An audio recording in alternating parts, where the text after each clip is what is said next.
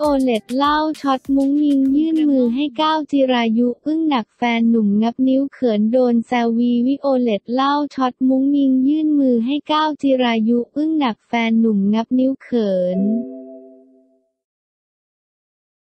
โดนแซวสนั่นโซเชียลวีวิโอเลตเล่าช็อตมุ้งมิ้งนักแสดงสาววีวิโอเลตวอเทียร์เดินทางมาร่วมงานงานแถลงข่าวซีรีส์แนวตั้ง เรื่องแรกของนาดาว Blackout บาร์ลับไม่มีในโลก ถึงเรื่องผลกระทบในช่วงโควิดระลอกใหม่ในวงการเพลง พร้อมเผยถึงไวรัลหวานในโซเชียลกับหวานใจหนุ่มเก้าจิรายุ 19 มกราคม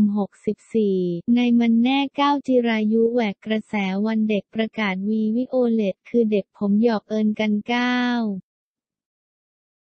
จิรายุเผยคลิป TikTok กับวีวิโอเลตภาพคู่นานนานทีจะมีให้เห็นวีวิโอเลตอวดคลิปสวีทเก้าเพื่อนๆแซวให้ภาพนี้ชนะเลิศโควิดลบ19มาอีกครั้งทำให้วีต้องเปลี่ยนการโปรโมทเพลงใหม่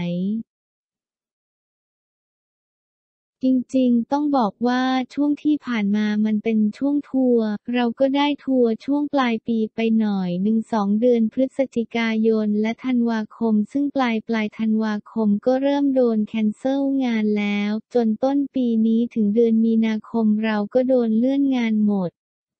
ยังไม่ชัวร์ว่าจะเล่นคอนเสิร์ตได้อีกเมื่อไหร่ เราก็ใช้จังหวะนี้แหละกลับเข้าสตูดิโอมาทำเพลงเพิ่มดีกว่า ไม่งั้นคงจะรู้สึกวิววิวเหมือนกัน เพราะไม่ได้ทำอะไรเลย โปรโมทยังไงทางออนไลน์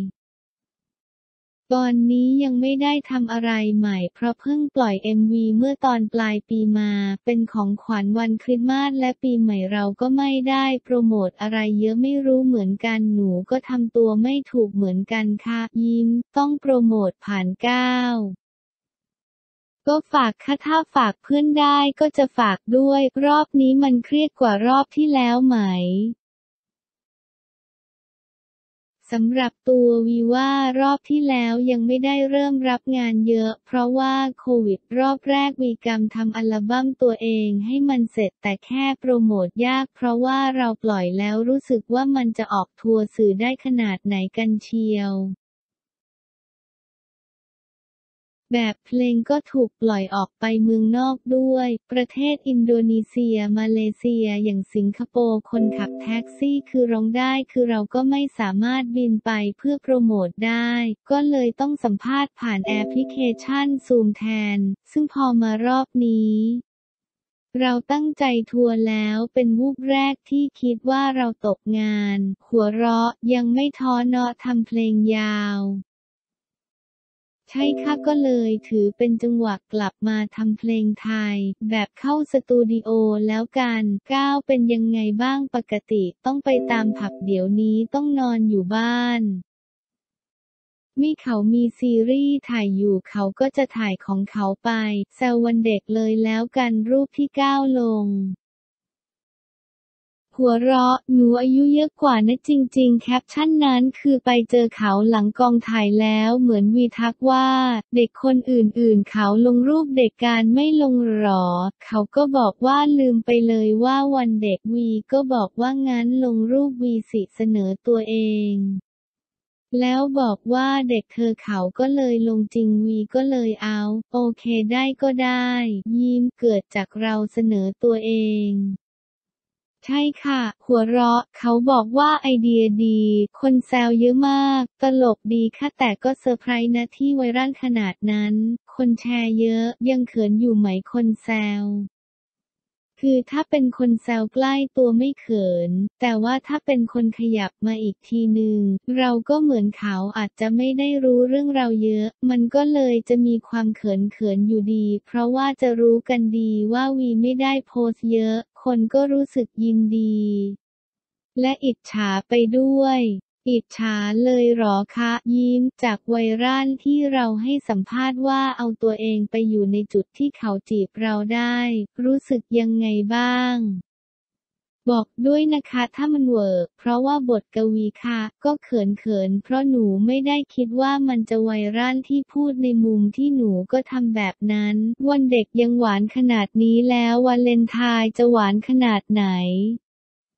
วันเลนไทน์มีงานคู่ให้ติดตามเป็นงานคู่ครั้งแรกผ่านโซเชียลค่ะ ต้องรอดูใช่ไหมว่าจะเป็นไวรัลอีกหรือเปล่า ไม่รู้เหมือนกันรอดูแล้วกันค่ะ เวลารับงานคู่ต้องคุยกันยังไง ก็คุยกันว่าอยากทำไหมมีเหตุผลไหมในการทำจำเป็นต้องเป็นเราสองคนหรือเปล่า เพราะรู้สึกว่าเราไม่ได้อยากทำไปพร่ำเพื่อ ถ้าเกิดว่าทำแล้วเป็นโอกาสดีๆ ก็รู้สึกว่าเราก็อยากทำต้องรอดูวันที่ 14 กุมภาพันธ์อาจจะก่อนหน้านั้นหน่อยแต่เป็นช่วงวาเลนไทน์ค่ะ ถามถึงคลิปติ๊กต็อกที่เก้า จิรายุ อมนิ้วเรา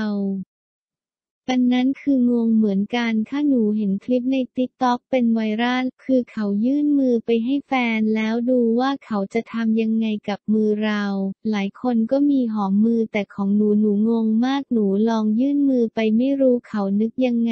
ดมๆแล้วก็งับไปเลยหนูก็อึ้งว่าเป็นอะไรเขาก็ทำหน้างงงใส่ หลายคนถามว่านิ้วหวานไหม ไม่ได้ถามค่ะ หัวเราะเขิน ณ ตอนนั้นเขาหิวและกำลังตั้งชาบูกินกันอยู่ เวลาอยู่ด้วยกันสองคนมีมุมกุ๊กกิ๊กไหม ก็มีค่ะปกติแหละหวานตรงไหนหนูก็เป็นเพื่อนกันแหละค่ะ ยิ้ม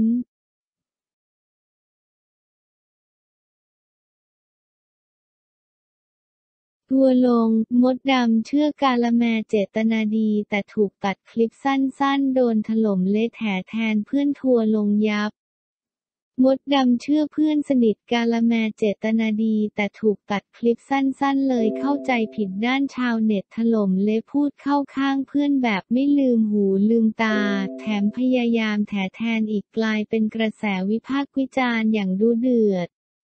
กับประเด็นรีวิวิอาหารเสริมของพิธีกรชื่อดัง กาละแมพัชรศรีเบญจมาศที่ออกมาไลฟ์สดพูดคุยสรรพคุณว่า ถ้ากินหนึ่งกล่องนี่คือรู้เรื่องสามกล่องก็คือกราบสวัสดีกรอบหน้าชัดเหนียงหายหน้ายกตาที่เคยตก ก็เป็นตาสองชั้นรอยขมวดคิ้วหายร่องแก้มตื้นจมูกเป็นสัน รวมถึงประสบการณ์ตรงจากลูกค้าที่ทานจริงว่า โควิด มะเร็งโรคซึมเศร้าหายเป็นปลิดทิ้งอ่านข่าวโซเชียลเดือดจวบยับกาละแมรีวิว อาหารเสริม โควิด มะเร็ง หายท้าเปิดชื่อคนใช้อ่านข่าวแหกยกสาม กาละแมอ้างกินอาหารเสริมแล้วจะหายซึมเศร้า ป่วยอะไรก็ให้กินอ่านข่าวออยเชิดกาละแมรีวิวโอ้อวดเกินจริงเผยโดนมาแล้วเจ็ดคดีด้านปอคบอ เตรียมเรียกกาละแมมาให้ปากคำปมอวดอ้างสรรพคุณเกินจริงเร่งรวบรวมพยานหลักฐานภายในสัปดาห์นี้ล่าสุดเพื่อนซีมดดำคชาพาออกมาวิจารณ์ถึงประเด็นดังกล่าวผ่านรายการแฉว่า ตนรู้จักกาละแมดี ซึ่งเจตนาเขาไม่ได้เลวร้ายอยู่ที่ว่าวันนี้นางเจออะไรมากกว่าโดยการละแมขายของของนางมานานแล้ว แต่ทุกวันนี้การตัดคลิปสั้นๆ มันจะเป็นการฆ่าคนและคนก็ชอบเสพข่าวแบบสั้นๆ เมื่อก่อนการละแม ไม่ยอมไปหาหมอและพักหลังเพิ่งไปทำเลเยอร์โดยกาละแมเป็นคนชอบออกกำลังกายไม่กินเนื้อสัตว์ และนางก็กินผลิตภัณฑ์อาหารเสริมของตนเอง พิสูจน์ว่าเห็นผลได้จริง งานนี้ทำเอาโลกทวิตเตอร์กลับมาร้อนระอุอีกครั้ง ถล่มพิธีกรฝีปากกล้ามดดำคชาพายับไม่แพ้กันว่าพอเป็นเพื่อนกันก็พูดเข้าข้างแบบไม่ลืมหูลืมตา ผิดก็คือผิดไม่ใช่บอกเจตนาดี ถ้าคนไม่รู้แล้วนำไปใช้แบบแบบผิด ใครจะรับผิดชอบซึ่งการโฆษณาเกินจริงเหมือนกับการล่อกลวงผู้บริโภค และเป็นการฆ่าคนทางอ้อมต่อให้ตัดคลิปสั้น 3 วินาทีกล้าบอกได้ยังไงว่ารักษาโรคโควิด โรคไตโรคเบาหวานและโรคซึมเศร้าได้อีกทั้งมดดำเป็นพิธีกรรายการควรพูดเป็นกลางๆ ไม่ใช่พยายามแถแทนเพื่อน